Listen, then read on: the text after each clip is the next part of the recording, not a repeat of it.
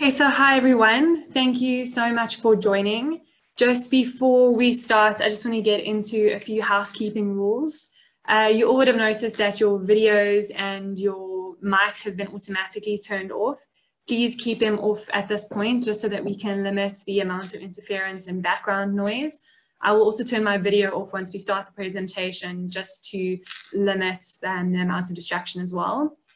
If you do have any questions throughout the presentation, please feel free to ask them. Please use the question and answer box that's located at the top or the bottom of your screen. If you hover your cursor over that area, it will generally pop up and you'll see a little Q&A box. So please put your questions in there and I will try and get to as many as possible at the end of the presentation. So don't put your questions in the chat. Please definitely use the Q&A box.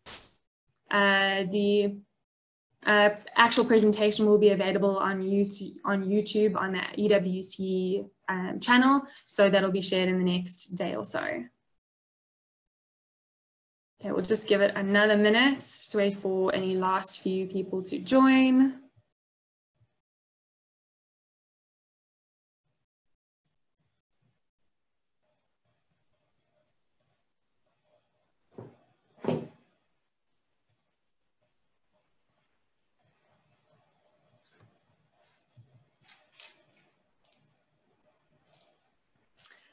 Okay, so thanks everyone again for joining. My name is Samantha Nicholson and I'm the coordinator of the African Lion Database and I'm based at the Endangered Wildlife Trust's head office in Johannesburg.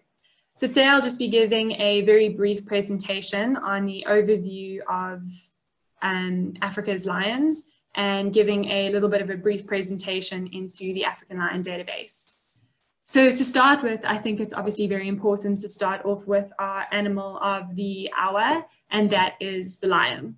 So lions are the only species of wild large felids that live in groups, and these groups are called prides, and they can number anywhere between two and 30 individuals. Some areas have actually had records of prides that are larger than 30, but it just does depend on the ecosystem. So prides are made up of a dominant male or a group of males called a coalition, and they are generally uh, brothers or quite closely related. The females within a pride are all related to one another, and like other carnivores, lions are an important element of healthy ecosystems. So because they prey on other animals, they help to keep populations in check and prevent their overpopulation. So through this hunting, carnivores actually maintain populations of your browsers and your grazers. And as, as such, they prevent their overabundance and, and protect vegetation from being too heavily grazed or browsed.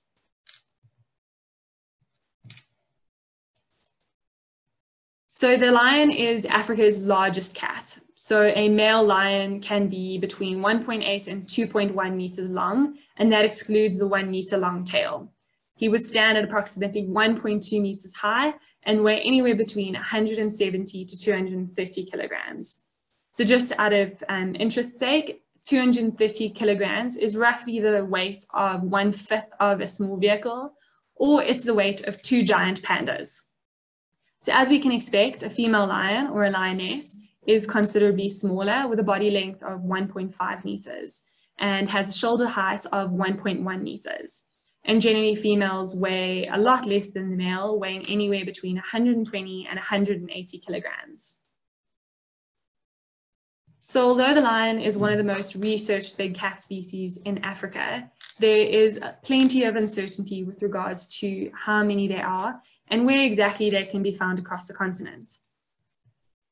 So the data that exists to actually share this information is kept in various institutions, be it research organizations with individual researchers or governmental or governmental organizations, or the data also is stuck in published papers or reports.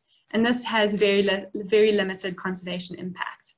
And this is partially due to the fact that there's been no long-term data repository or project to actually store this critical data as well as to actually maintain it and keep the data as up to date as possible.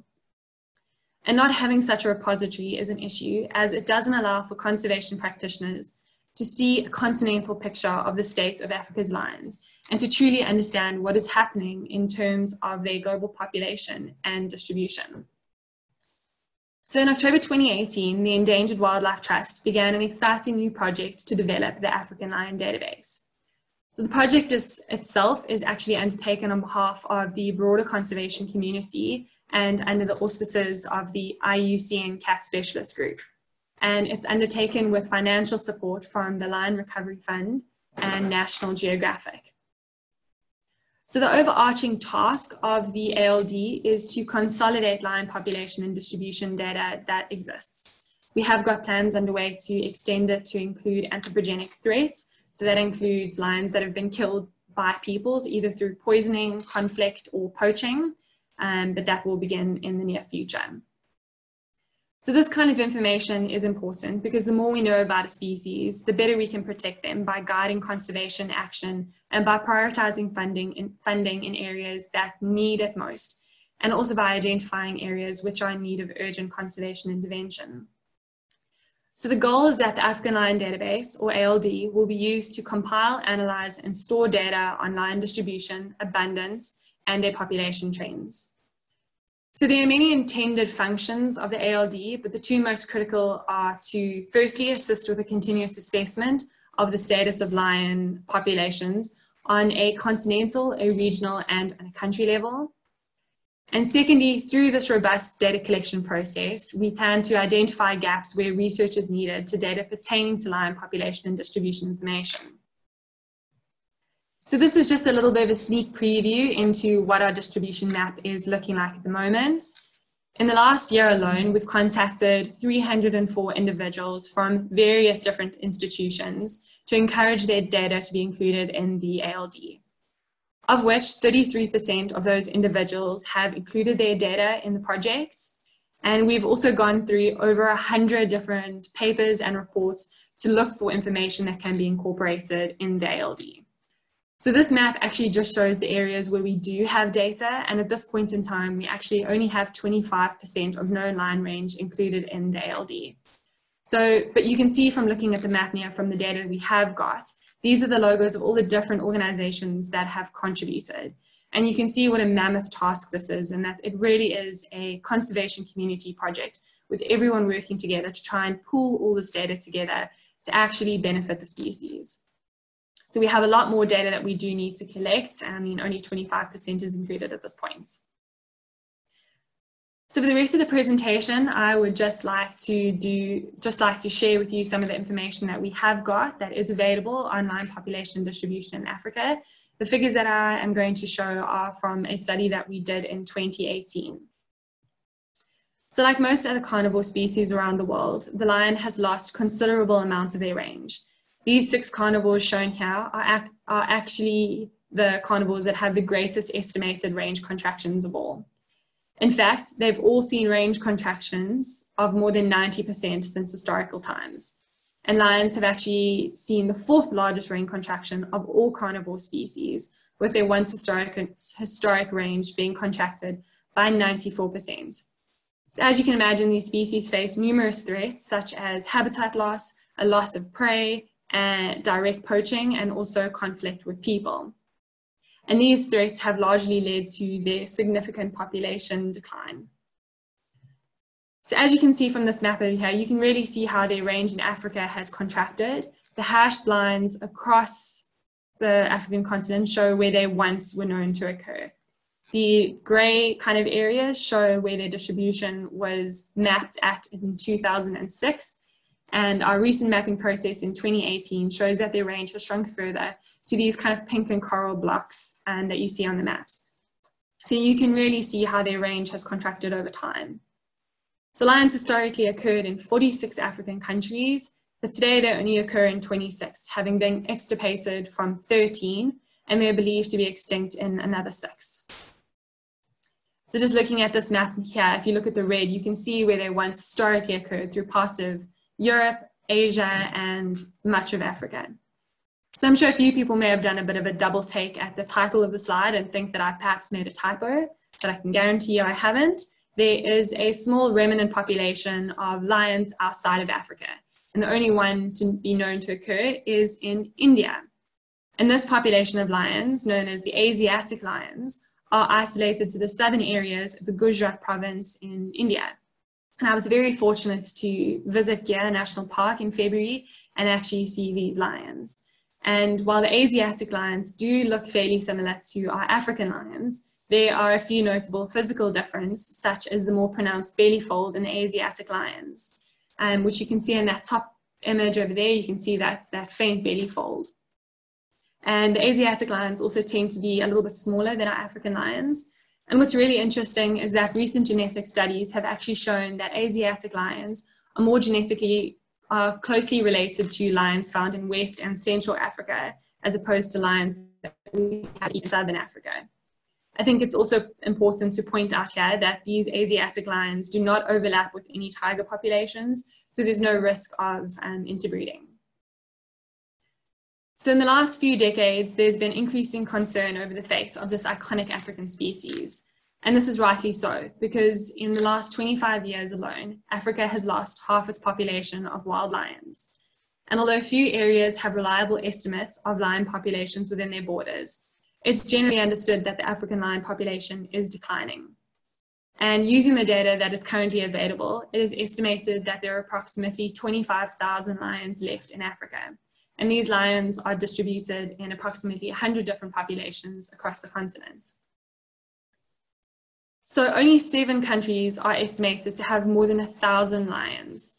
In descending order, they're Tanzania, Botswana, South Africa, Kenya, Zimbabwe, Mozambique, and Zambia. And 51% of the other remaining wild lion populations actually have fewer than 100 lions. And six countries have less than 30 lions. In ascending order, they're Malawi, Senegal, Niger, Rwanda, Angola, and Nigeria. But what is really positive to note is that countries like Malawi and Rwanda um, have increasing populations, and that is through the efforts of reintroducing lions back into their protected areas, oops, sorry, that occur within their boundaries. So Akagera National Park, for example, in Rwanda, reintroduced lions in 2015 after they were hunted out in the early 1990s. And what's really positive is that within the first year of lions being present in Akagera, the population actually doubled with the birth of 11 cubs. But it's not all doom and gloom. Through this extensive data collection process, we've actually, we've actually received some really exciting records of out of, known, out of range records for lions. And this may hint at the re-establishment of resident prides in areas where they were previously thought to have disappeared. So on the slide over here, there's just a couple example of these out of range records. The first that I'd like to briefly chat about is um, in central Cameroon, where a recent exhibition, I think it was mid last year, um, an exhibition by Born Free found a small group of lions in Mpem and Djem National Park in Cameroon. We had another few sightings reported of lions in Luando Special Nature Reserve. And what's really cool about this sighting is that the pride consisted of a female with a few cubs. And this female was actually the first one seen in the area for at least a decade. Um, and this sighting on the right hand side in Malawi is of a young male or male lion who was seen in Nyika National Park in Malawi. So this is actually the lion that was seen and it actually took several months for Central African Wilderness Safaris in Malawi to actually capture him on camera. And as you can see, he looks really nervous and quite skittish of people. Uh, lions that aren't used to human presence or, or occur in areas where they are very heavily persecuted tend to avoid people completely and move away um, at the sounds of anyone approaching. So as you can imagine, this is often what makes it very difficult to try and get data um, from countries where lions are in areas where they are heavily persecuted or where they don't see humans quite often. So these kind of areas include Central African Republic, Sudan, South Sudan, and some areas in Ethiopia. So the data that we're getting from those areas is far less than, area, than what we're getting from areas in Southern Africa. So I thought I'd end off with a quick look at how South Africa's lion population is faring.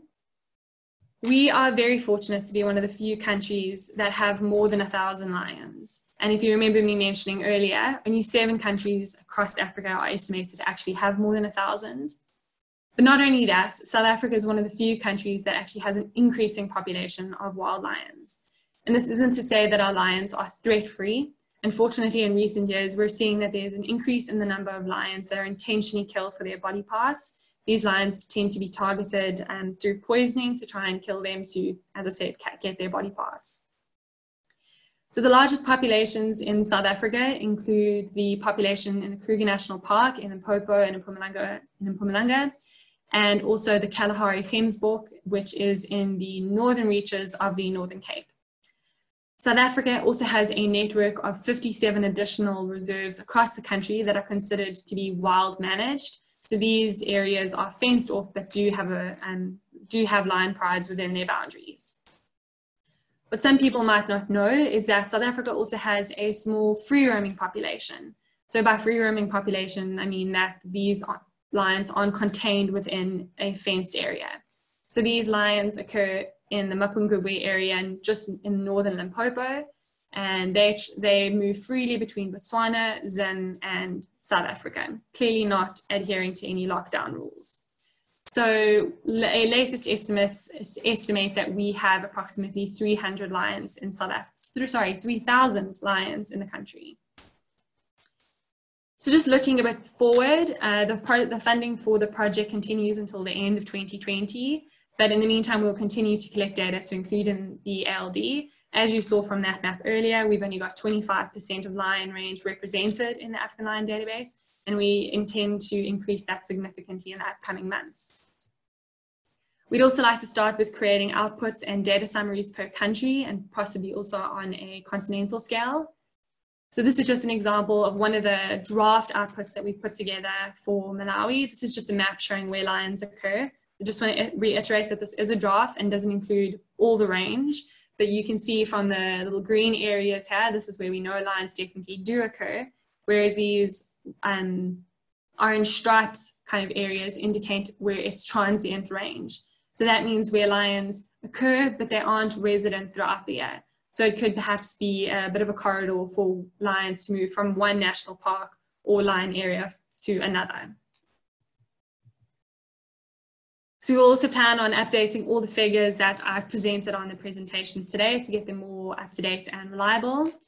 We also want to start identifying those areas that require surveys and that are currently data deficient. So through this data collection process, we've already started to kind of pinpoint areas that require survey effort. Either we're unsure that lions occur there and no one can really confirm, or that their numbers aren't known. So we want to start identifying these areas where we can recommend surveys be done.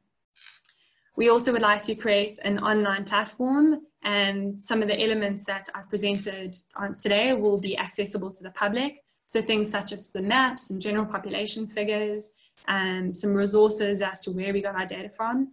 And we'll also have quite a bit on what the ALD project actually is and um, it'll include some um, of the processes that, processes that we followed.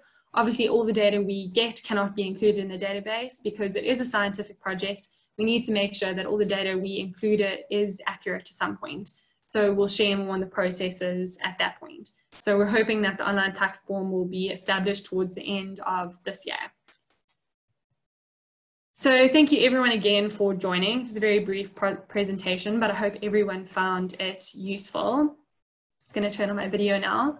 Um, I'm going to do a couple of the questions from the Q&A box. Um, I just want to reiterate as well that the presentation will be available on the EWT's YouTube channel. Um, okay, let me figure out how to use Q&A. Um, okay, so Heidi says, do lions from North Africa look the same as ours in South Africa? And the answer is no. There are also some um, some minor differences. If I remember correctly, they're a bit smaller. Their manes are often um, a lot thinner. Uh, there's a lot of studies um, that have been done as to justify why, but I can't quite remember them off the top of my head. I'll let you know. Um, but they do look a little bit um, more different than our southern and eastern African lions. Um, so it's great that you, oops, sorry, it's great that you have 33% of organizations you contacted coming together to help lions. Knowing numbers is so critical to their future and how plans can be made to protect them further. So what do you think is holding back organizations from sharing their data with you? So this has been quite a challenge through the project. Data is a asset for many people and organizations spend a lot of money to gather their data and it's, it's, it takes a lot for people to share their data willingly with another project. Some people have shared um, their data but have put really strict restrictions on it. So we can't share it past the project other people have been more willing about we can share it. So it just depends on um, what people's intention for their data is. What I found is a lot of people haven't actually responded just because they've been so busy and are in the field. Obviously, a lot of the people that I'm working with are field-based lion researchers who don't sit in front of their computers all day, every day, and don't always have the time to send emails with data. But what I'm finding is that with this lockdown period, all those line researchers are now out of the field and in front of their computers. So I'm hoping in the next month that number will actually increase quite a bit. Um, okay. Does EWT allow conservation students to do practical uh, projects with the organization? I'm not 100% sure on that. Um, I think we do uh, have volunteers. Um, Charlotte, if you could just pop me your email address and I will get back to you with a bit more details on that. Um, is there a fear or, or issue of bottlenecking of the populations of lions as has happened with cheetahs? And none, I think there's more of an issue with lions in West and Central Africa, specifically because the populations are so small that there is concern regarding the genetic diversity of the species within certain protected areas. In Nigeria, for example, I think it's Nigeria, I can quickly have a look at my map that I have here. Um, there are only two protected areas that have lions and it's about 50 individuals. So it is a bit of an issue there with regards to um, with regards to collecting data. But I don't think it's an issue in South Africa. Uh, a lot of the small fenced reserves are work under the Lion Management Forum, where together they work together to move lions between protected areas to maintain that genetic movement between populations. So does the EWT do community work to increase acceptance of lions by farmers and ranchers?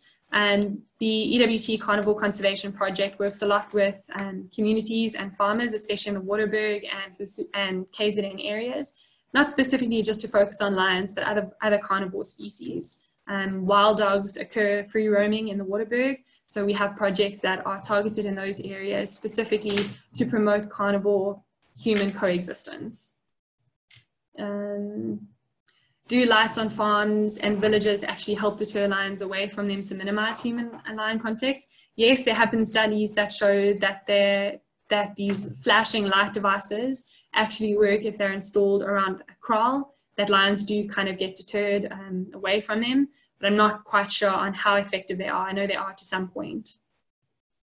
Um, do you did you approach conservation authorities in various countries for information? Yes, we have approached all local governments and a few have engaged with us and have contributed data. Others are still moving through their data sharing agreements. So with a lot of them, we have to set up uh, memorandums of understanding so that both parties understand what we're going to use the data for and what are the limitations around the data. Um,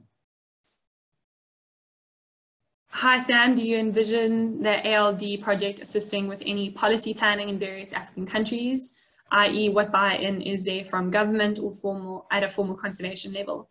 Um, so yes, that one of the main goals of the ALD is actually to facilitate um, this kind of policy planning. So by providing accurate information to show how many lions there are, what kind of threats they're facing, and how best we can conserve them.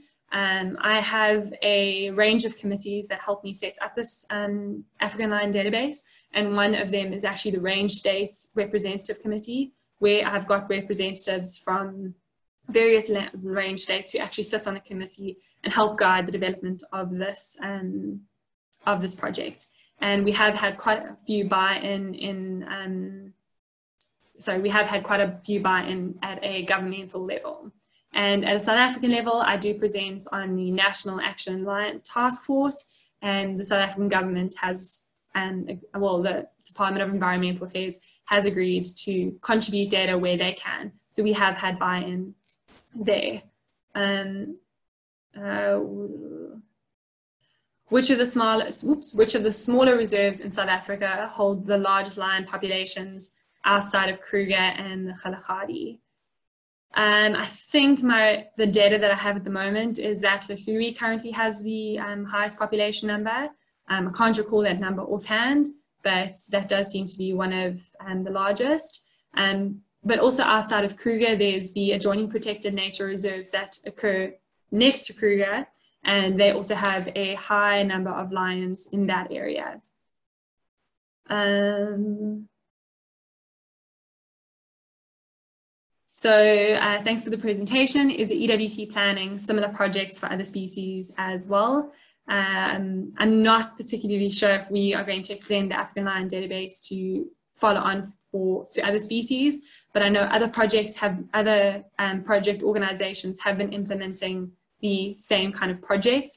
So the African elephant database was actually created in the 1980s by the African elephant specialist group. So that has been going for, ooh, I'm going to do maths live. Should I do that? 40 years? Few decades um, to actually consolidate lion population and distribution data.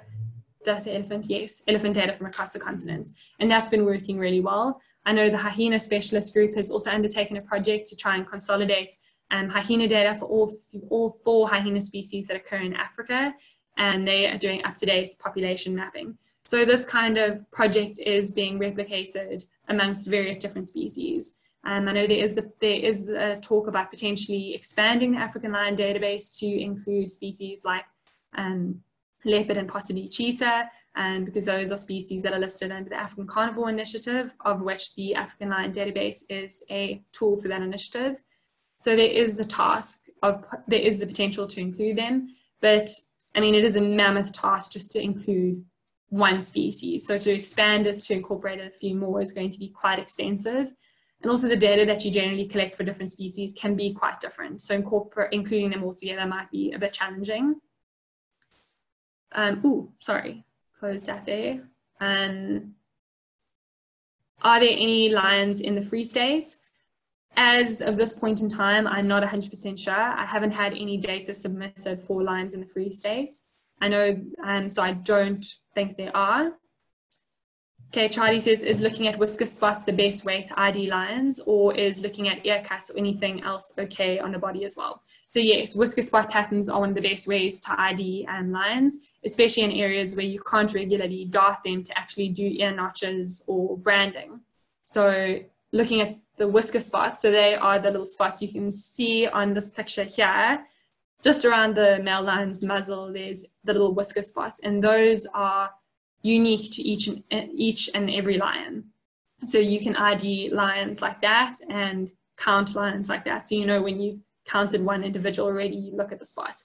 It is quite time consuming, but with advancements in um, artificial intelligence, I'm sure this will be an online, a very quick kind of computer process in the future. Okay, um, I think that, okay, would uplisting of the lion on the IUCN red list help conservation attempts?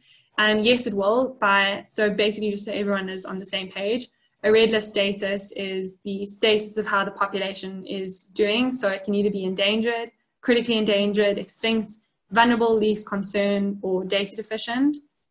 So listing them as endangered would require um, more conservation action potentially than a species that is listed as least concern.